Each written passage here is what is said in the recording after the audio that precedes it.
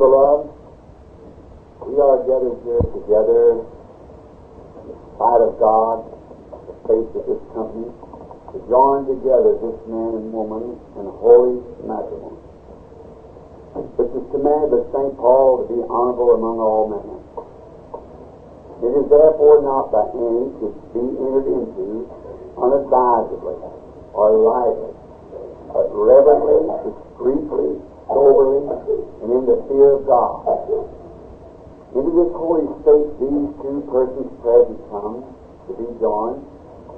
If there's anyone here that could show a just cause why they should not be lawfully joined together in this holy matrimony, do you now speak, or from hereafter forever hold your peace? I will require and will charge you both, as you will surely answer at the day of the judgment, when the secrets of all hearts shall be disclosed. If either of you know any impediment, why you should not be lawful joined together in this holy matrimony, do you now confess it? Or be it assured unto you that any couples that are joined otherwise than God's word does allow, their marriage is not lawful. But duly believing you have considered this solemn obligation you're about to assume, and that you have prepared to enter upon the same reverently, briefly, soberly, in the fear of God, I shall propose to you the marriage covenant. You will witness the same as you join your right hands together.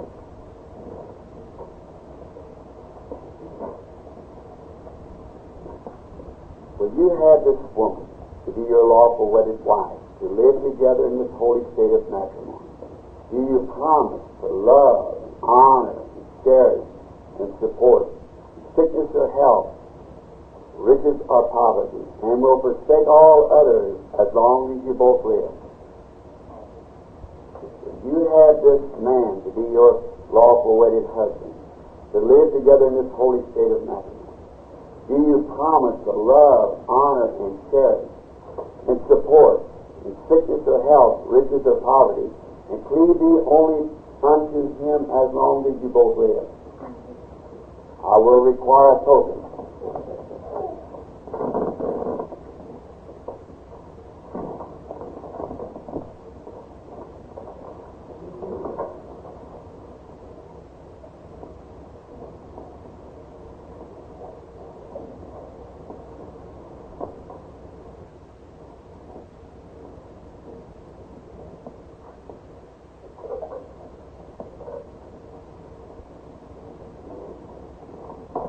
Join back your right hand and step forward to your Let us bow our heads.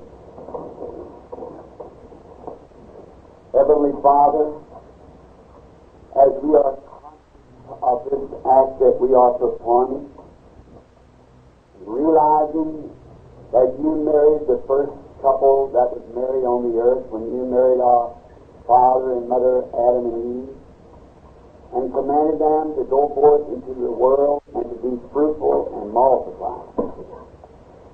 Down to this day, Lord, this young man and young woman comes now to be united by the virtues of thy word, thy promise, as in their life's journey they are, have chosen each other to be their life companion. I pray thy blessings upon them, Almighty God. Make them an example in this day of reckless living, that a man and a woman can live true and virtuous in the sight of the world and before God. Make them fruitful, Lord. May they always serve you. May you be the unseen guest at all times at their home. And as thou did bless Isaac and Rebekah, and they lived so happily together through their life, I pray likewise that you'll bless this young man and this young woman. Father, I pray that you hear me, Lord. Now, by the virtue of my commission to be the servant of God, given to me by Almighty God, and witnessed to me by angels, I pronounce this man and this woman husband and wife in the name of Jesus Christ. Amen. God bless you. You're married.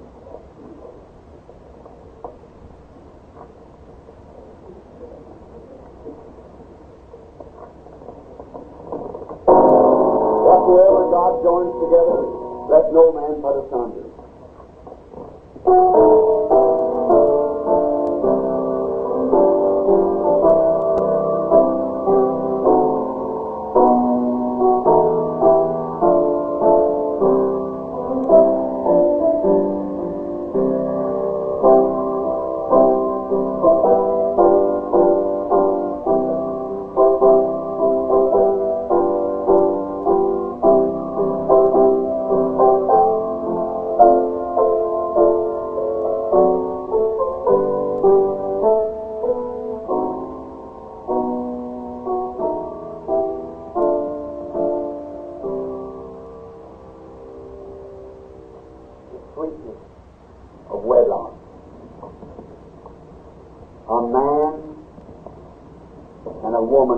Joined together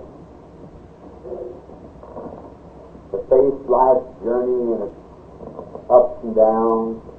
Father and mother on both sides had to give son and daughter.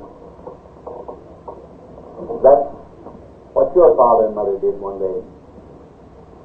I pray God to strengthen you and realize that this is part of your duty in life as it was for you to have your wife or your husband, as your father and mother did the same. As I see two walking out like that, coming to be joined, I always get a picture of the coming of Christ or His Christ. I'm trusting that we'll all be a part in that bride day. He shall come too. That's the happiest moment of this young people's life. That'll be the happiest moment of a Christian life when we're joined to Christ as one. The Lord bless you. Let's stand.